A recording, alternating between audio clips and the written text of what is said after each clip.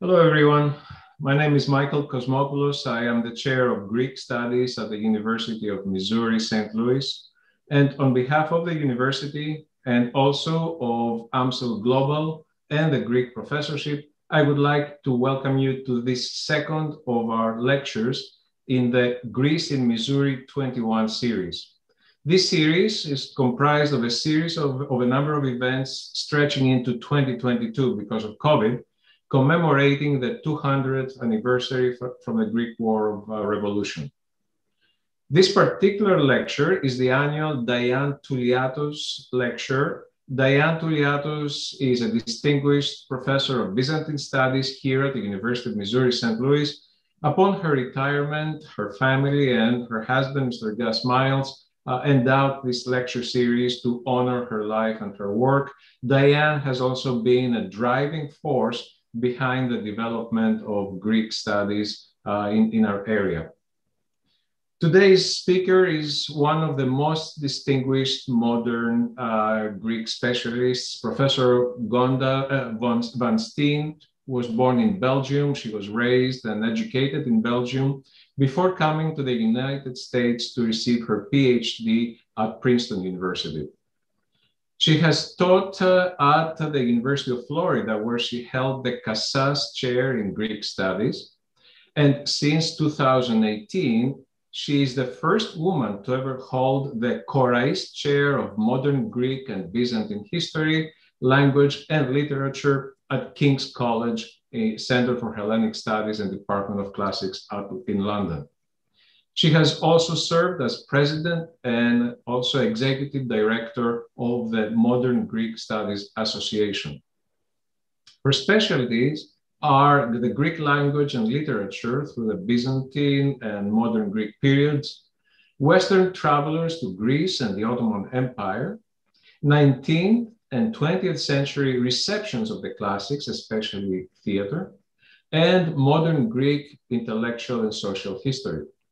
She is the author of numerous publications and several books, the latest of which, Adoption, Memory, and Cold War Greece, Kid Pro Quo, is uh, a person is an examination of the personal stories of children, Greek children who were adopted by US families following the Second World War. Uh, th this book has been awarded several prizes, and it's a major contribution not just to modern Greek history, but also to the, to the US adoption history, because these, uh, these adoptions uh, uh, became sort of major movement uh, in both Greek and, and American society. Today's lecture, The Greek Revolution of 1821 and its multiple anniversaries, examines how the different anniversaries of uh, historical events in Greece uh, have been shaped and are shaping uh, our perceptions of the past. Without further ado, Professor Van Steen, we are very honored to have you here today with us. Well, thank you, Michael. It's an honor to be asked to give the Diane Touliatos lecture. And I'm especially grateful for you for this wonderful introduction and for signaling my work on the Greek adoptions. If, if any of you in the audience, if for any of you this history strikes home, I always extend a warm invitation for people to contact me because there is a lot of, of work to be done in what I call this unfinished business of the Greek adoptions to the US. Today, then, our topic is very different, and I'm very pleased to have the technical assistance of Bob L., who's been absolutely excellent setting this up and leading you also in the audience uh, to this forum and assisting us with the questions. I have fond memories of meeting Diane Touliatos many years ago, a force of nature, very inspiring, and she told me proudly that she hails from Kefalonia. And that the name Touliatos just tells you that. I will never forget. So again, it is my great honor to be here with you. And I hope I can keep the conversation uh, rather relaxed. Um, I will be speaking from a few notes and about 18 slides. And I hope in the end, we will engage in conversation and questions. So I invite everybody in the audience to take an active part in it. So here we are then celebrating the Greek Revolution, and we can already reflect on its multiple anniversaries. 1871, after 50 years, 1921, after 100 years, 1971, 2021. You see where we are going with that. Anniversaries create legacies. And so it's important then to think what each one of these anniversaries has added to the package of how we celebrate and how we think about the Greek past. And also what, what kind of images we bring to that celebration of the Greek past. Who are the heroes? Who are the characters? What are the, what is the iconography of these celebrations? And I'm gonna start with this iconic picture of Rigas here and Korais, the skinnier guy, lifting up Greece, dragged, um, dragged from the ruins. Uh, she is in rags, she is wounded, she is feeble, but uh, Rigas Feraios and Adamantios Korais are going to lift her up literally from the ruins. Antiquity with the Ottoman Turkish enemy in the background, surrounded by symbols that will stay with this history of celebrating Greece's resurrection, if you want. There is the symbol of the phoenix, the mythical bird rising from its ashes with quite a history already in ancient myth, but with a history that is regenerated in 1821. And then, of course, there are the religious symbol, as in these angelic characters up high. So keep that image in mind because uh, you will be surprised to see how much of the celebrations of these these go back to what is what are like staples, key ingredients that come back with renewed, renewed force. So these anniversaries then start reflecting on the passing of time, as anniversaries naturally do, but they take the opportunity to, to, to kind of set an agenda for the present, make a certain, uh, a few points about who is in charge of this celebrating, and of course, set an, a prospect, a vision for the future. And of course, the future are the younger generations. So a whole lot of this celebrating has a didactic uh, quality to it, telling future generations of how to live up to an ethos created by the recent and older Greek past. So not surprisingly then, these legacies become rather prescriptive, holding up standards and norms, and they become rather nationalist as well. And part of this package, these staple goods of anniversary celebration, will be the constant reminder of some sort of a linear progression from the past through the present over challenges, but ultimately to success. And in this linear progression, it does not surprise us that religion and state very often come very close together in that kind of symbiotic relationship that is still very present in Greece. It needs to be immediately noted that none, absolutely none of these four major anniversaries was celebrated in a period that was not crisis. And so uh, challenges, crisis are again an, an, a kind of underpinning of my talk today. The most potent one will probably have been 1921, I'll come to it soon, when the crisis was so acute actually celebrations were postponed until 1930, veering off of the schedule of celebrating on the 100th anniversary. So anniversary, yes, but crisis was always Think of financial crises, think of uh, uh, natural disasters, think of refugee crises, and think, of course, of the most uh, current and persisting COVID crisis. So the unpredictable, the unforeseen crisis was there to plague the 25th of March 2021, and we're not quite done yet.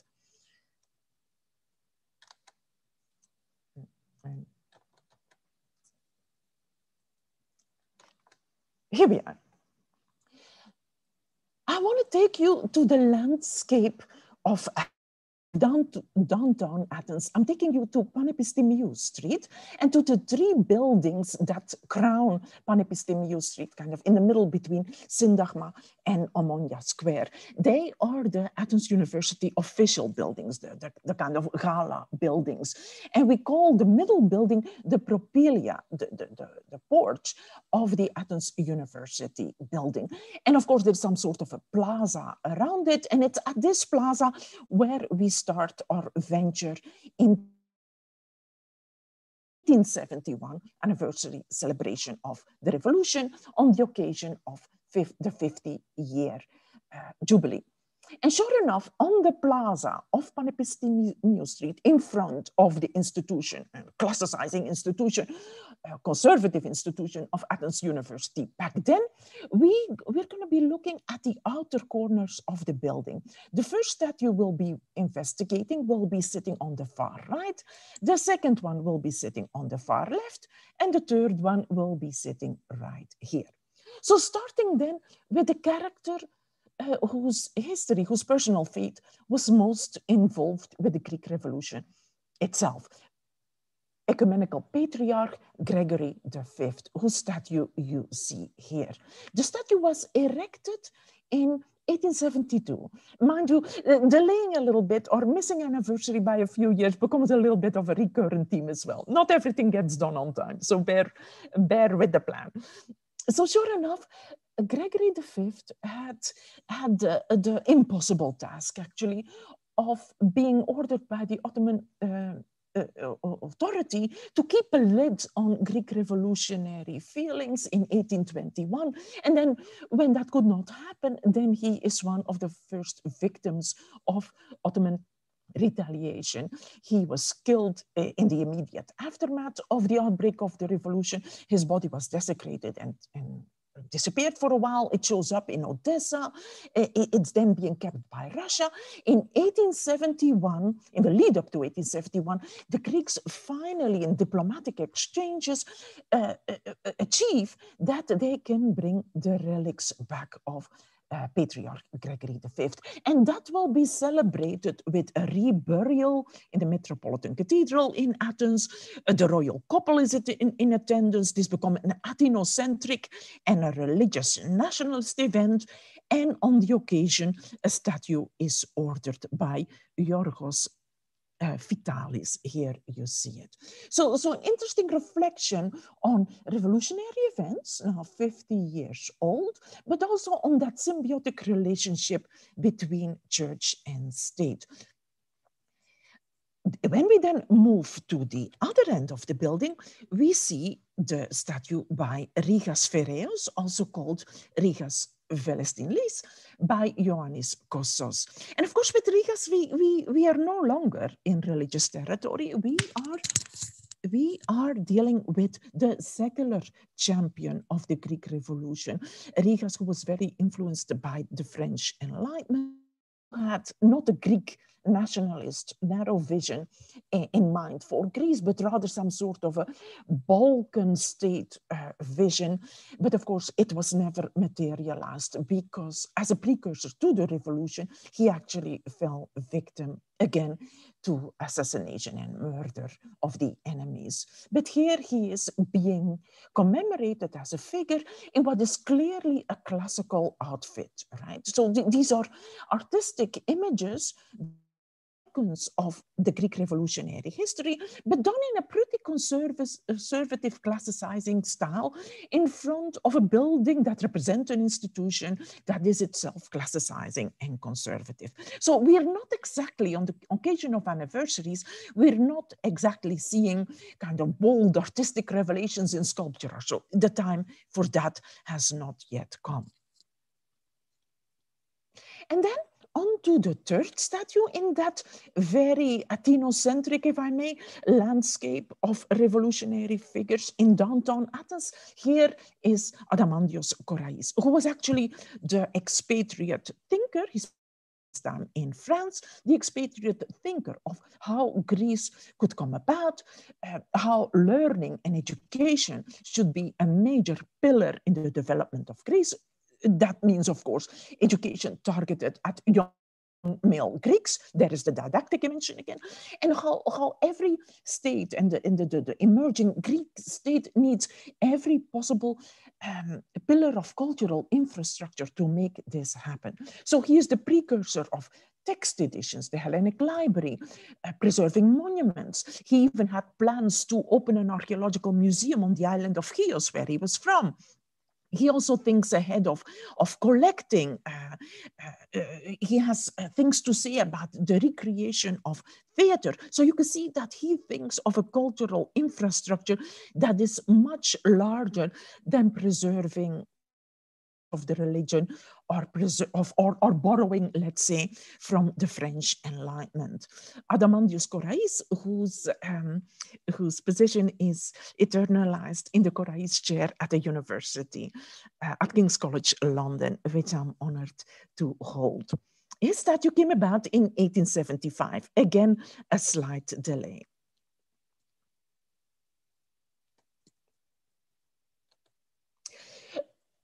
So the conception of continuity is immediately present. And of course, other, other factors in addition to the statues come into play and we need to discuss them briefly to, to kind of draw a line from statues to reenactments, to parades, to um, athletic festivals, uh, to cinema, to parade floats, to uh, the kind of parade you saw with televisions present and speech making uh, on the recent occasion on the 25th of so you can kind of see an evolution of modest beginning of celebrating that take on a greater and greater and more and more international dimension to then come to where we recently were. What is then the kind of academic scholarly underpinning of this insistence on continuity? Work of Konstantinos Paparrigopoulos, who wrote the, the history of the Hellenic nation in multiple volumes in the mid 19th century, a, a history that has been constantly republished. So, very, very influential work, and, and a work that carved out a, a vision in which modern Greece could without too many problems, bring together ancient Byzantine and modern, even though that meant wedding pagan religion to uh, Byzantine Orthodox Greek religion to the modern kind of tension between secular state and religious state. Paparrigopoulos uh, creates that all-encompassing vision of continuity.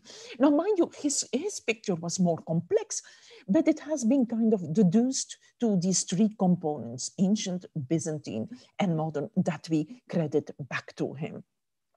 Now, mind you, he wasn't the only thinker on the subject. Ioannis Kolettis, who held a ministerial post in 1835 under King Otto, saw something in the power of public festivals, open air public festivals, in the way that these had so productively brought the ancient Greeks together.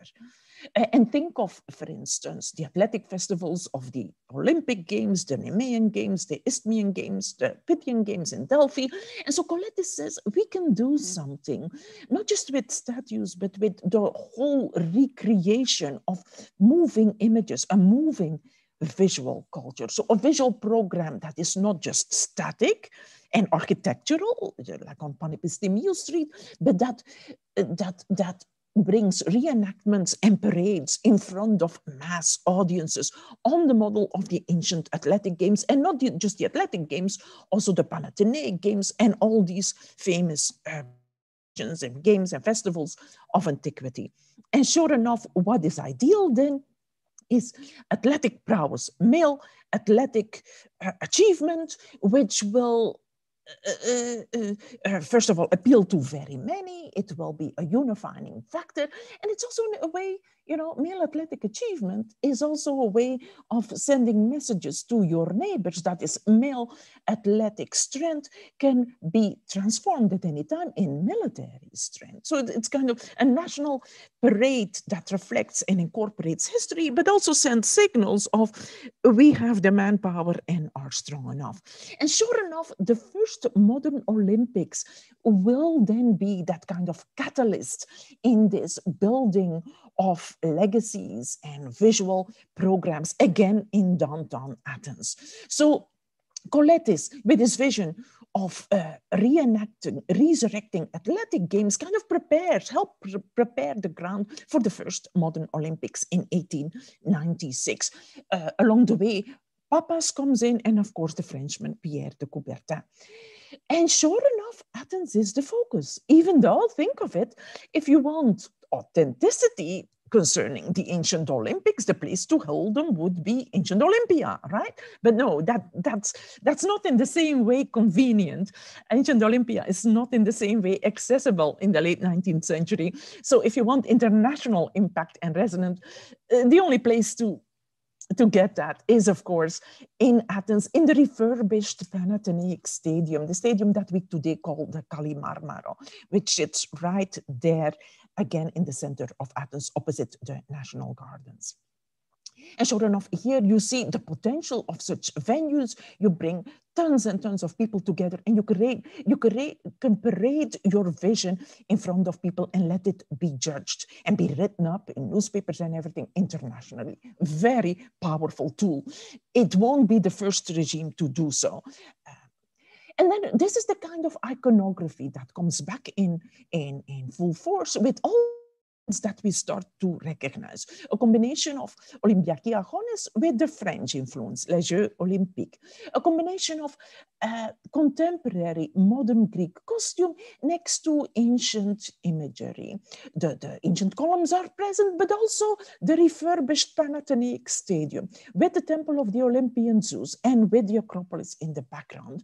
And of course, the dates are there for you in case you were to forget that the ancient Olympics started in 1776 and that the new modern Olympics will be resurrected, were resurrected in 1896, as if, as if the continuity of centuries was uninterrupted, which we know it wasn't. But, but, but this image doesn't uh, tell you that. Continuity can be shaped and, and be embellished a little bit. So then we 1920. A very problematic times, of course. Uh, uh, we need to talk here about a key figure whose name is Eleftherios Venizelos, who was from the island of Crete, and that's important. Venizelos sees in this um, developing culture of parades and mass events a great propagandistic tool. And that is speci specifically useful for Venizelos because he has a plan. He is the, the, the carrier of what we know as the grand idea, the Megali idea. He is the main advocate for um, taking advantage of international goodwill after the Paris Peace Conference in 1919 and again after the Treaty of Sèvres in 1920 for taking Greek troops into Asia Minor and thus redeeming the Greek populations of Asia Minor and bringing them into Greater Greece. This means landing Greek troops on the coast of Asia Minor and then making, uh, making a go for Smyrna and eventually, of course, the ultimate prize, Constantinople. A big plan, a very dangerous plan it, it didn't turn out that way, needless to say. So what happens then, Venizelos goes in with so much self-confidence that by mid-September 1920, which is a good several months in advance of the uh, uh, anniversary celebration, he starts to stage the first, the first victory celebrations, which is of course way too soon and almost hubristically so. And he uses that same Panathenaic stadium for parades that are very, not only Athenocentric, but very Venizelos-centric. And it, it, it, opens the first window to celebrations as some sort of a powerful personal propaganda tool in the same way that we hadn't seen them yet in the 19th century. And sure enough, wait a few months, and by the 25th of March 1921, Greece has suffered the first military setbacks in Asia Minor because the new Turkish nationalist forces are beating back the Greeks, and it's clearly not looking good. By mid-September 1922, the Smyrna disaster has happened, and the new Turkish forces have pushed out not only the Greek minority, but also the Armenian minority, and cre created lots of victims in the process. So this is not exactly the time to then stage huge nationalist celebrations. What is done in the span of this time is some moderate speech making, committees with academics are formed, plans are being made, but everybody realizes um, uh, this is a time of mourning, not exactly a time of nationalist celebration. And so the, the ultimate solution then is to postpone the anniversary celebration to 1930. And again, somewhat hubristically so, because Venizelos is still convinced that all these territorial gains he's dreaming of will be realized, if not by 1922, at least by 1930. Again, a big mistake, but at least he gave himself kind of dare I say, a new lease on life, right? Uh, uh, crediting himself eight more years. And now, in the history of Greek, the Greek Revolution, that's actually quite feasible. This is not an invented date of because 1830 was the formal beginning of Greek statehood. So you could use then 1930 as a celebration, not of the outbreak of the Greek Revolution, but of the, the, the formal beginning, the 100 years since the formal beginning of Greek statehood. So you could easily kind of spin that a little bit and still justify the link, make it look uh, not a, a matter of defeat, but a matter of, dare I say, increased anticipation. And sure enough, what Venizelos then focuses on is filling the years in the lead up to 1930 with a few more ambitious projects that keep the attention focused on the postponed celebration. And one such major project is the building of the tomb of the unknown soldier. And this is the one on Syntagma Square. You've been there many times. Uh, it's it's uh, right in the house, in front of the Houses of Parliament. Today, you see the changing of the guard. You can see that this this this whole facade needed quite some work. This was a multi-year project, and it was actually not even finished in 1930, but, but the plans at least kept the momentum going. And another, another invention of Venizelos to kind of give a personal, but then also uh, important spin to this anticipated celebration of 1930 is the rededication of the equestrian statue of the revolutionary hero Kolokotronis, whom you see here and his statue stands on Platia Kolokotronis in front of the old uh, parliament building, and he points uh, forward.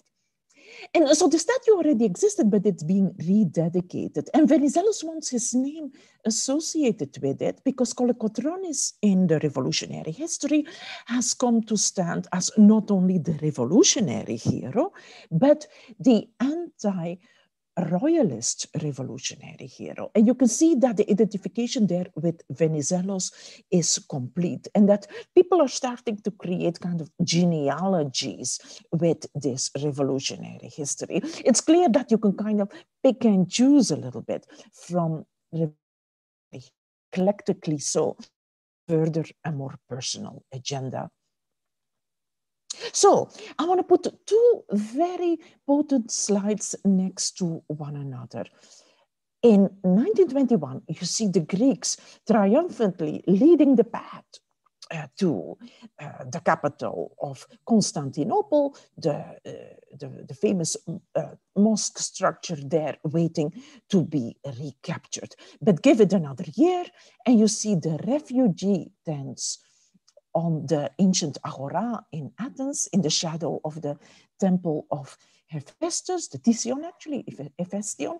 And you see what started as a triumphant march into Asia Minor becomes uh, a crisis of refugees, Greece having to take in hundreds and hundreds of people who have to flee from various places in Asia Minor and uh, for which Greece doesn't immediately have the infrastructure. So what really happens between 1921 and 1930 is Greece in a, in a, in a very difficult struggle of adjusting to this defeat, building the infrastructure, uh, uh, uh, coping with this influx of refugees who had to leave everything behind. And I think these two images next to each other, um, you know, the tents in the shadow of the ancient temple, are quite poignant. Okay, one thing that seems to come back time and again is commemorative medals, coinage or, or in this case.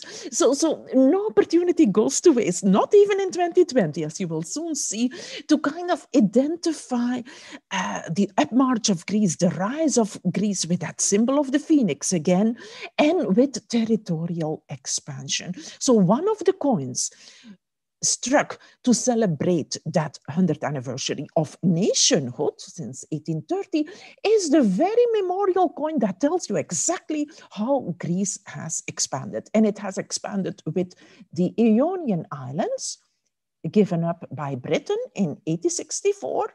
1820, of course, is already the date of the, the, that small part of the mainland. But 1881 is the acquisition of Thessaly, 1913 is the acquisition of Macedonia, Balkan Wars, and then in the latest um, acquisition 1919 Eastern Thrace. So you can see that the coin is there to commemorate not just territorial expansion, but also a sense of unity as we rise together like the ancient phoenix. And so one of the things that Venizelos then also does, still stuck on, on some of these ancient parades, is he recreates the Panathenaic procession of antiquity. And he does that with, instead of, like in antiquity, various groups carrying the garment of Athena uh, to the Acropolis, he will have various regions of Greece carrying the Greek flag to the Acropolis as a way to give every region a way to participate in this visual rhetoric of unification. And another act that he likes to put on in the, in the sequence of ancient Byzantine and modern Venizelos likes to put on there as well the Minoan culture, being from Crete, making a point that in this constellation of territorial gain, Greece has a lot to offer. So he, he temporarily expands the linear progression from ancient uh, Byzantine to modern uh, by including the legacy of his own homeland of Crete. He gets a lot of help here from unexpected corners. For instance, the Lyceum of Greek Women, the Lycio Ellinidon, is very much into parading the rich culture of various regions of Greece. Not in a military sense, but in a sense of regional dress, costumes, and they will do regular parades of this kind of cultural progression, cultural continuity, again in the Panathenaic Stadium, which now becomes the locale par excellence, and this kind of reenacting of Greece through the ages, all the way to modern times, with the Greek Revolution as a component, becomes very much a culture in which not just the military or, or the politicians participate, but also a prominent educational institution such as the Lycio Ellinidon, the Lyceum of Greek women. And then we come to the Greek military dictatorship, which came into power with the coup of 1820, uh, sorry, uh, 21 April, um, get my 21s confused here, 21, 1967 through the middle of 1974.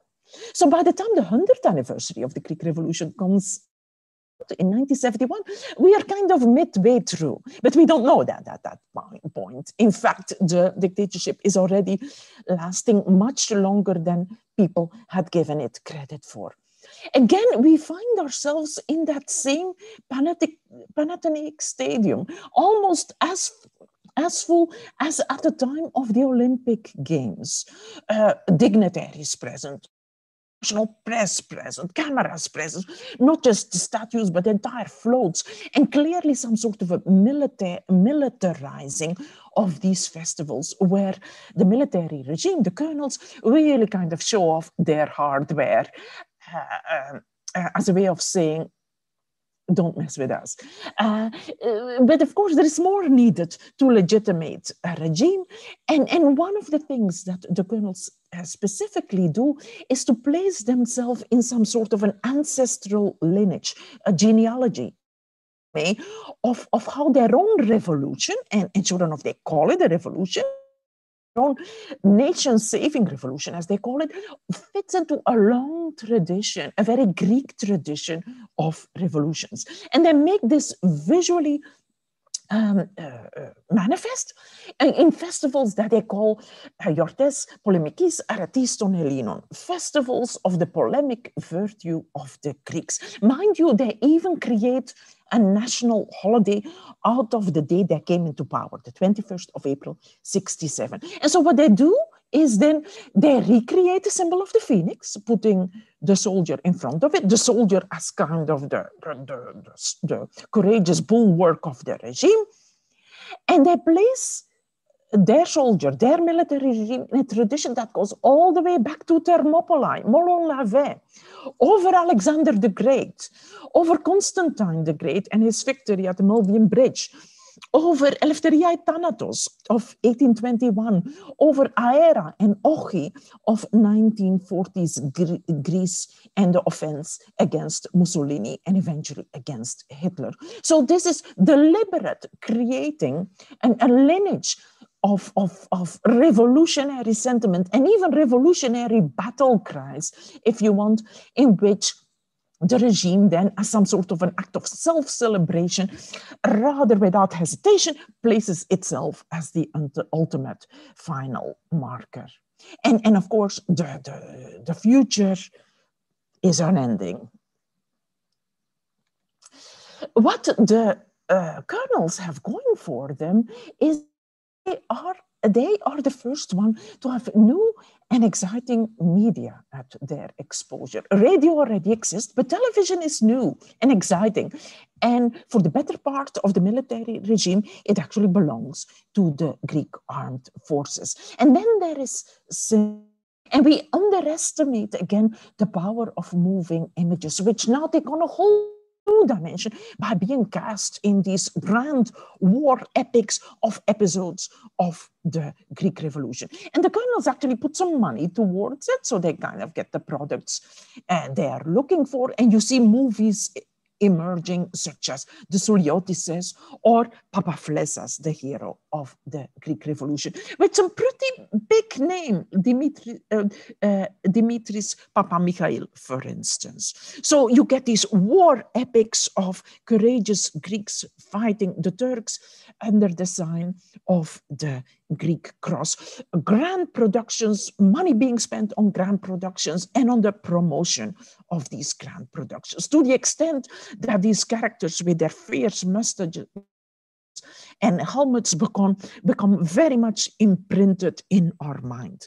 And I find this actually a very topic to look at 1821 uh, in the film culture through time. And it's certainly something um, we in London want to do more with. And I want to invite you to join us on May 28th, coming up soon, for a session where we'll discuss just that cinema's interpretation of 1821. And I promise you some good film clips on the occasion as well. I can give you more information uh, second. Now, mind you, the junta invites uh, grand ideas, but also sometimes you know, over the top ideas. And so, uh, because things are so spectacularized on an unimaginable scale, it's, it's not surprising that the junta invites some ridicule as well.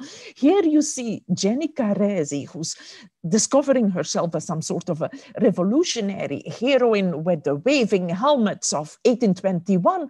She is acting in a movie called Lysistrata, but she's actually using the wording of the uh, of the colonels of 1821 uh, while kind of comically inverting it. The movie is called Lysistrati, and she is using slogans such as Aminus with that kind of katharevousa overtone that is meant to kind of deflate the language of the colonels.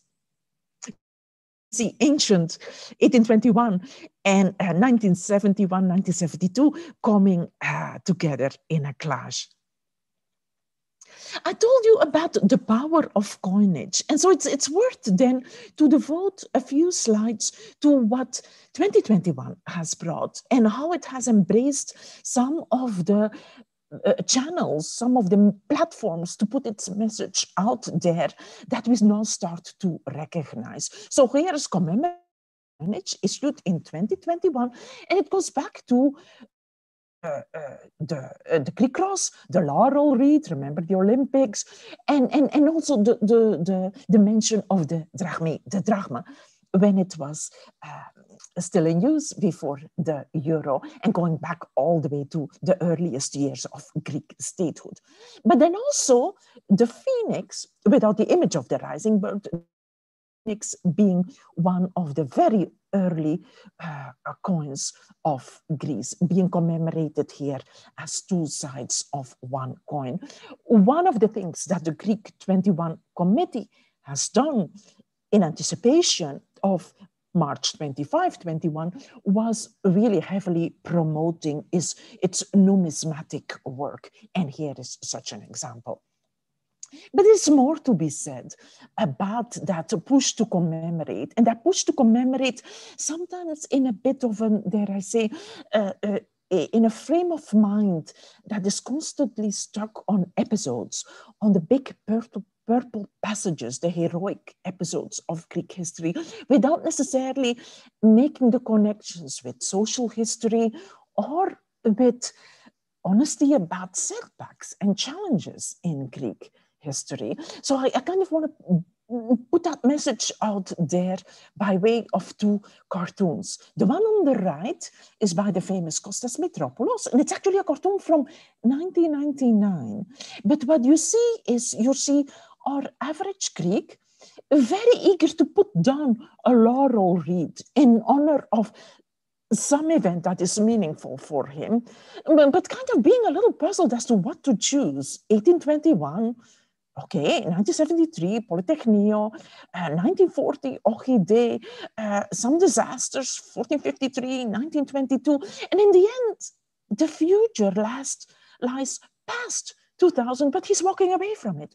And not only is he walking away from it, he is actually going in circles. So, so there is a sense of like, grab the future in a different kind of way. Yes, there is commemoration, but but up to a point. And then KYR in the cartoon on the left here, he is there to kind of write on a wall in Athens, the Polytechnio Z, the Polytechnic is alive, Greece is alive, but the Greeks or well, don't manage with the economic crisis. So it's like, are we too wrapped up in fiesta fatigue, commemorative fatigue, to the extent that we forget that we have daily uh, crisis going on, daily challenges going on? And, and should we then not reinterpret our history a little bit to make it more friendly towards the average Greek? And of course, uh, uh, popular history meets official history in very peculiar ways. You, you, couldn't make this up. These are billboards on the uh, on the fence that surrounds the Parliament building in Athens. This is, uh, it, uh, you know, the side that leads to uh, I mean, you could walk all around the fence of the parliament building, you get to Irodou Attikou and, and other places. But, but slogan says, history has a face, history has a face, and, and all the heroes of are, are there. The brave uh, Greek guards marching, the Tsoliades in traditional dress. Now, history has a face, yes, but at the very moment that we face the challenge of having to, to cover our face because showing your face in 2021 doesn't quite work for the greater good. So, an interesting um, contradiction here of history as a face, while we have to be so careful covering our face and masking up. Again, an interesting reflection. You know, the, the military junta, the dictatorship, had put itself, as I said, in that lineage, that literal lineage without interruption, all the way back to the Persian Wars, right, over Alexander the Great. uh, the committee of 2021 also creates some sort of a fluid lineage of heroic uh, ancestry, let's say. But look how the, how, how the picture is different. I would say up to up to here, up to the middle, it's pretty conventional. You recognize your Persian wars, Themistocles, you know, the raising, uh, the raising of the flag. You recognize Bouboulina, and with her the first woman comes in. But you also recognize Papanikolaou of the Pap smear, and you recognize Maria Callas. So all of a sudden, women are present, and all of a sudden also this man needs no introduction. All of a sudden, Greekness is different. It, it can be multi-ethnic. It can be certainly uh, more than just a male history as it was 50 years ago. There is room, there's a more broader conception of who can belong to this uh, lineage that gives us cause to celebrate. So I, I, I found it an interesting reflection reworking of the lineage that goes back to heroic antiquity. There's also some deconstruction of heroes going on. Here is Kolokotronis literally uh, taken apart uh, in reverse engineering, uh, all the bolts and the screws uh, being loosened up. That great hero of Kolokotronis. Um, uh, deconstructed, unmasked to make us think of what myth making and hero making has traditionally meant. Of course, this is the year in which our connection to antiquity needs to be rethought. Here is an icon issued by the Lego classicists, as we call them, where the Greek goddess Hygeia is very much concerned with hand sanitizer and mask. So antiquity can be a powerful reminder that we are living in challenges challenged condi conditions, even as the Greek committee puts out colorful uh, mementos that you can buy to support the effort, we are still constantly challenged by the daily uh, restrictions of 2021 and uh, a, a year in history we could never have foreseen. And I like, and this is my last slide, I like how history and image making of the Greek Revolution meets the COVID crisis in very potent ways. Here you see some of the traditional paintings by perhaps the most famous painter of episodes of the Greek Revolution, Vrizakis. Here you see Greece rising. Here you see the heroic exodus of Missolonghi, the, the, the, heroic Greeks under the sign of the flag fighting of the Turks. But look what the reality is like. This heroic exodus of Missolonghi has become the, the heroic battle of the Greek health system against uh, that daunting and, and constantly attacking enemy called the COVID pandemic. And here, real heroes of the fight of 2021, the medical personnel.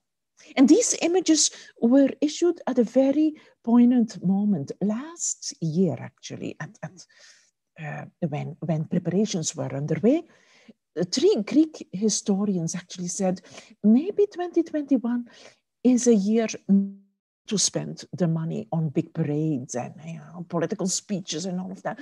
Maybe this is the year to protect our citizens first, and maybe the expense should go strengthening the Greek healthcare system. And to, to make kind of the dilemma clear, that's where these images were created. And I find them quite powerful.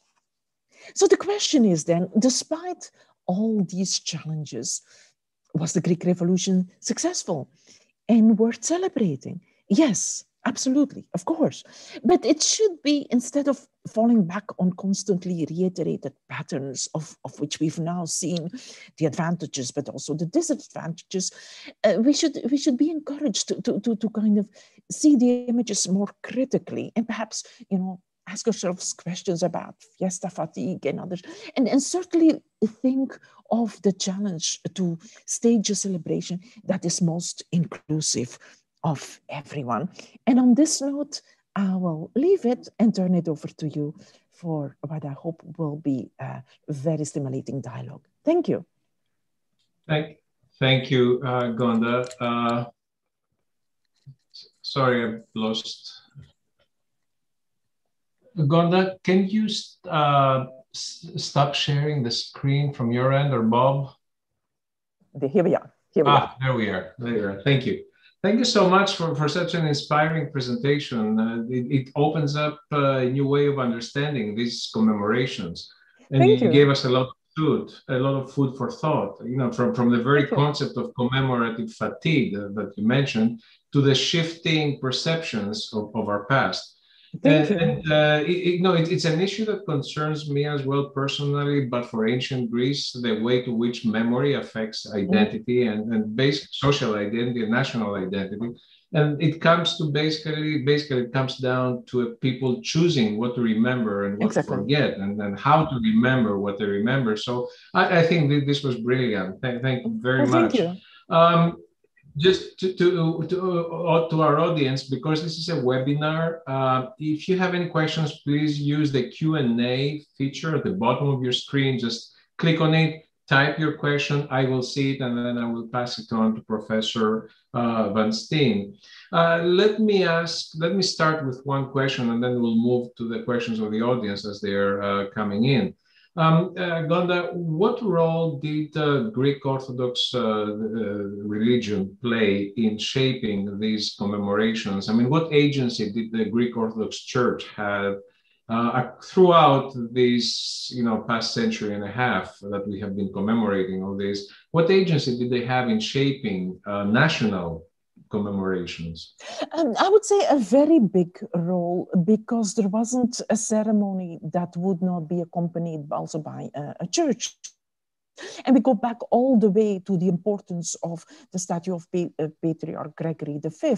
So, so Greece in its celebrations was always very much aware uh, that the church the church meant a lot to people. It was it was em embodying the byzantine legacy rather than the ancient greek legacy which was pagan. So, so so a sense that as a factor of identi identity the greek church needed to be present and and and could point to the right let's say hero martyrs of that uh, uh, revolutionary, revolutionary tradition that played a tremendous role. I would say all the way, uh, all the way through 1971. I think perhaps this year a little less. Now, mind you, the, the stories of uh, the Scholio, the secret school, and, and the, the exact role of Gregory V is contested. But, but the church was aware that skirmishes notwithstanding, uh, that there was a role to play there and that that role was a unifying role and that, uh, uh, that it gave um, uh, flesh to the Byzantine tradition in a very concrete way. So basically, one of the major contributions of the church was to bring the, the alive the Byzantine. Exactly, to keep the Byzantine tradition alive, yeah, and, and keep it as a prominent factor of the uh, the celebrations. Yes. Thank you. Thank you. Uh, Professor Nikos Michailidis is asking, quote, could Gonda clarify a bit further what she means when she says that the celebrations of Greek independence can be more inclusive? Uh, yes, and I'm glad you asked that. Thank you. And you saw me emphasize how the first celebrations are always very male oriented. Uh, uh, women have a role to play. Um, I looked at the video, beautifully filmed in the Panathinaikos Stadium of young people running around dancing uh, to the music of uh, Savvopoulos, and, and asked myself the question um, is there room, for instance, for physically disabled people? in this celebration. Uh, uh, people of a different skin color. Um, uh, you know, uh, we were talking about the symbiosis between the Greek Orthodox Church, but Greece added tremendous numbers of uh, Jewish uh, Jewish communities to its territory after um, by adding Thessaloniki. So is, is there room for another religion? So, so these are questions we need to ask. Um, the fact that we, inclusivity needs to be built and and minorities are not very present and and I, I think especially for instance of physically disabled people or mentally disabled people they are nowhere anywhere at any time and so the fact that there is still a hidden side uh, the, the people who make up the Greek uh, is something we should question and whether they should not be included in celebrations as well. Of course, thank you. Uh, from Professor Timothy Moore, quote, how do you think Greek commemorations compare to those of other countries like the United States and France? And actually, forgive me before answering this, let me just mention to those of you who are watching us via YouTube, if you have any questions, please feel free to email me directly and I can pass it on to Professor Van Steen. So back to Professor Moore's questions, question, how do you think Greek commemorations compare to those of other countries like the United States and France? Um, I would say that there is definitely a factor of self-promotion that is uh, common to all. And, uh, you know, think of the Roman triumphal processions, think of the processions and the reenactments of the French Revolution, think of uh, the military hardware that the Russians bring out. So, so lots of uh, cultures actually take the moment of a parade to really show the hardware, the strength. Uh, America uh, uh, uh, has done its fair bit of that. I do, uh, you know, political speech making is part of it. photo ops with the politicians are, are big. I, I have certain, I have a certain uh, admiration for commemorations in the US that take a different um, aspect. For instance, I very much like the Vietnam Memorial, which is plain, simple, and, and where every name is an individual, and you're reminded of that in the simplicity of the monument. A little bit of an aspect of that comes back in the commemorations of 9 11. Uh, you know, when names are being read out, but the stage is always shared with political speech making. And uh, uh, yeah, I don't think we will ever be free of that component of, of seeing a propaganda uh, opportunity that is as old as the Romans. Uh, I don't think we'll be, ever be free, but maybe the, the burden the burden rests on us to kind of filter those images a little bit and, and think critically of what it is we are being given. There is certainly, I mean, when I look at inaugural um, events and the money being spent on them in the US, you just kind of think, oh my God, this could do so much good in the healthcare system I cannot suppress that kind of uh, that kind of um, uh, criticism. Um, but then, of course, if they didn't do it, that doesn't mean the money would go to the healthcare system. So, so maybe I'm a little bit too idealistic there. But yes, I do have questions concerned to concerned with issues of self promotion, utilizing or commodifying the event and the sheer cost of it, the sheer sheer cost of it in times of crisis. Thank you. And we have one final, we have time for one final question. I have an email from John Cladeus, who's watching us through YouTube. Um, you mentioned uh, the 1821, 1830, 1921, 1930 shifting uh, yeah. anniversary. Are there other other examples or other cases of shifting anniversaries? Well, I think this year is a case. A lot of the events were first postponed from the spring to the to the fall, and and um, people, you know, uh, in in London we are hosting 20 events in 21. That's the name of our program, 21 in 21. And some of these 21 will fall in 22, which is a little inappropriate because in, in 1922, we, we are not celebrating, we're commemorating and grieving a whole different kind of events. So we're kind of struggling with, yes, we need to postpone because the, the, the restrictions impose it upon us, but no, celebration is not appropriate in 1922, which should generate a different kind of event. And, and so it will be delay or cancellation.